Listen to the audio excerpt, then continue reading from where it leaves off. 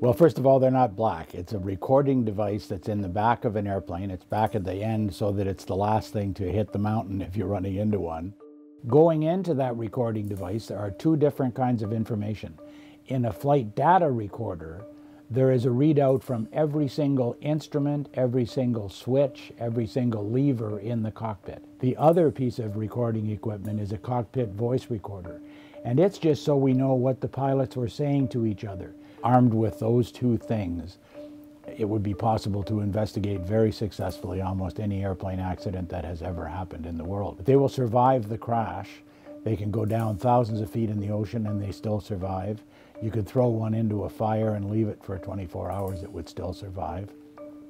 Or you can hit a brick wall at 100 miles or 1,000 miles an hour and it will still survive and be usable.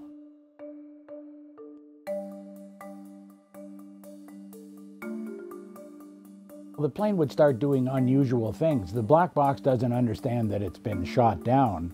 What it understands is it was at 12,000 feet and suddenly in a, in a strange fashion, it's gone very rapidly down to 8,000 and it's still going down. So it records all of these things. It records absolutely every second of what's happening.